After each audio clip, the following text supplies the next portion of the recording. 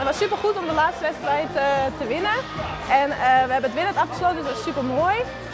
Ehm, ja, of het echt heel belangrijk was, we hebben gewoon ons eigen spel gespeeld en het was heel goed om eh, de laatste wedstrijd winnend af te sluiten.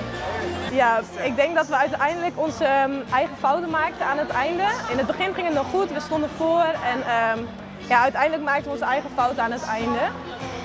En eh, wij gaven hun de kansen om terug te komen en die hebben zij vol, volle bak gepakt, dus dat was, eh, dat was het eigenlijk. Ja. Eh, in de Grand Prix gaan we natuurlijk met eh, een heel ander team. We hebben nu allemaal jonge speelsters. Dus ehm, ja, het is heel fijn om het goed af te sluiten.